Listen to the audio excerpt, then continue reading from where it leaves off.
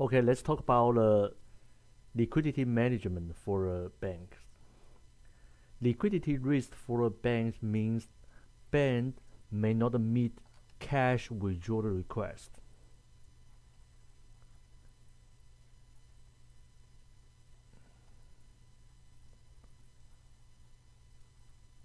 So I'm going to use the bank A and B to illustrate liquidity risk. So here is the simple balance sheet of the bank A.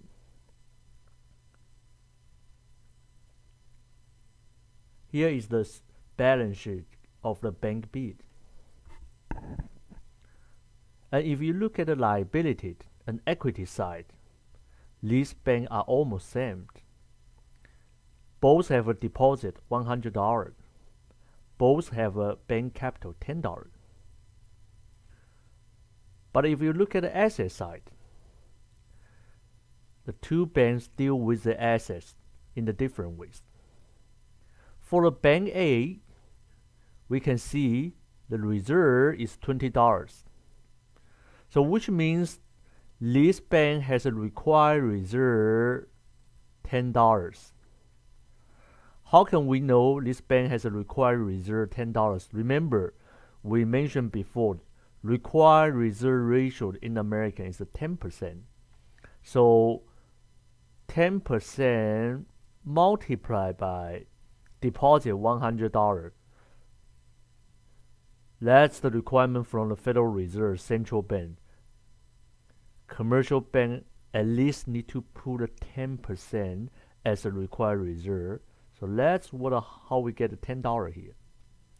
So if this bank have a ten dollar required reserve, which means it also have an excess reserve. Excess reserve will be ten dollar as well. How can we get ten dollar? Because the total reserve is twenty dollar here, and we know ten dollar is required reserve, and we can calculate the rest of the reserve is excess reserve. So the this bank lend out eighty dollars loans and the ten dollar and invest into the ten dollar securities. And let's look at bank B.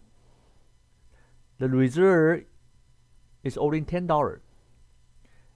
And we know for bank B, required reserve is also ten dollars because of ten percent of the deposit, and which means this bank has no excess reserve is zeroed. And this bank lend out more money as a loan. So suppose a customer come to withdraw ten dollar from deposit What happened to the each bank? Let's first look at the bank A. That's asset side. That's liability and equity side. So now how much deposit bank A have?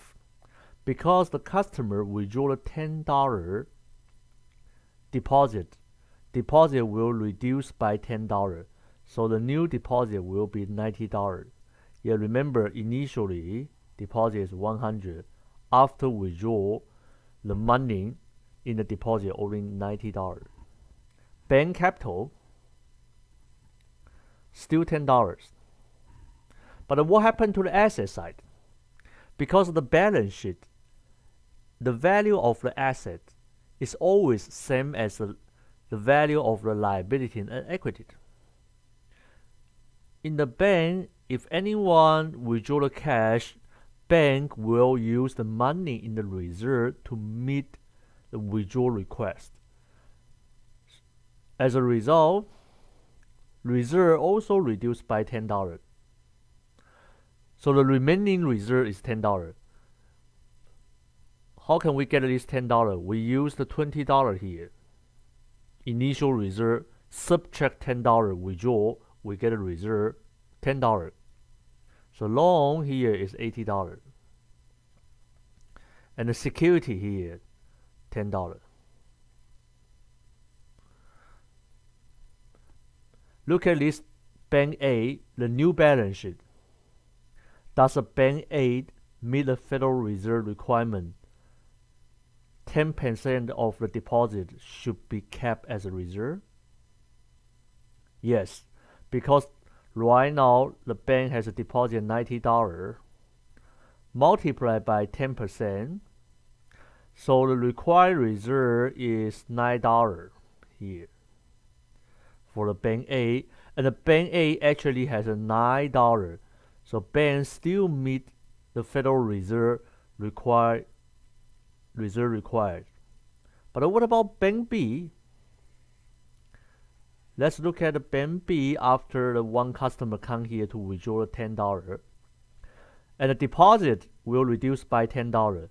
So deposit remaining remaining value will be $90. Bank capital remain the same, $10.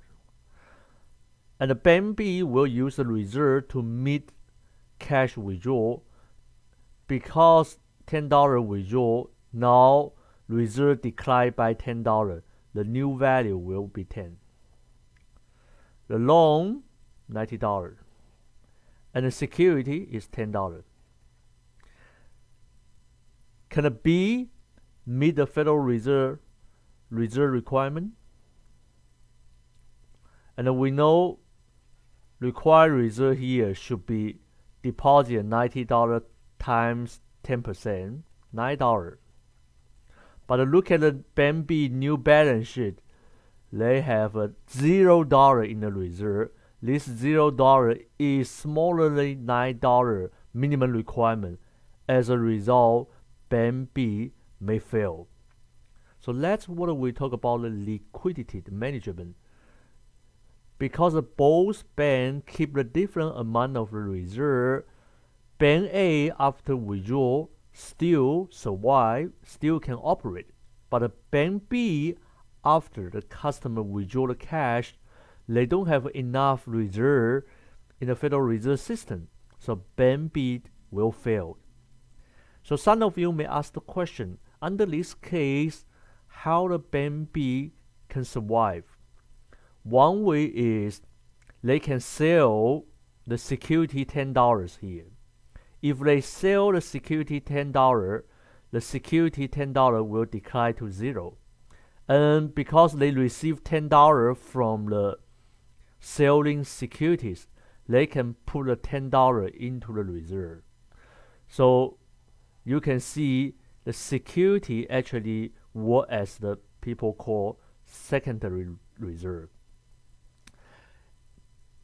Most of the security bank purchase are the treasury securities. So they are liquid, they are safe.